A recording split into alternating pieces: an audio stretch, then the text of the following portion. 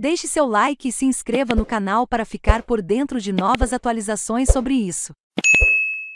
Galo mantém tabu diante do América, mas perde sequência de vitórias no Mineirão. Coelho não vence no Gigante da Pampulha desde 2005. Atlético ganhou 19 partidas consecutivas atuando em casa a partida entre Atlético e América. Na noite dessa quarta-feira, 13 no Mineirão, tinha alguns aspectos históricos envolvidos além de ser o primeiro clássico mineiro pela Copa Libertadores. Valia a manutenção, ou quebra, de tabus. O Galo conseguiu manter um, mas perdeu outro. Desde 2005, ou seja, há cerca de 17 anos, o Coelho não perde para o rival no Gigante da Pampulha. No dia 13 de maio daquele ano, a equipe Alviverde ganhou o jogo válido pelo Campeonato Mineiro por 1 a 0. Depois desse jogo, Atlético e América já haviam se enfrentado outras 16 vezes no estádio, com 10 vitórias alvinegras e 6 empates. A última partida era pela primeira fase do estadual 2022, que o Galo levou a melhor por 2 a 0.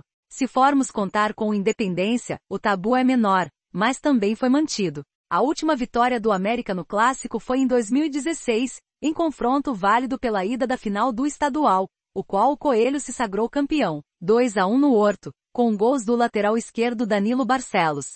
Por outro lado, uma sequência de vitórias do Atlético no Mineirão caiu, 19. O último placar que não positivo foi um 1 a 1 contra o Palmeiras, no dia 28 de setembro de 2021, pela semifinal da Libertadores. Já a invencibilidade continua. São 34 vitórias com 30 vitórias e 3 empates. O tempo reforça o compromisso com o jornalismo mineiro, profissional e de qualidade. Nossa redação produz diariamente informação responsável e que você pode confiar.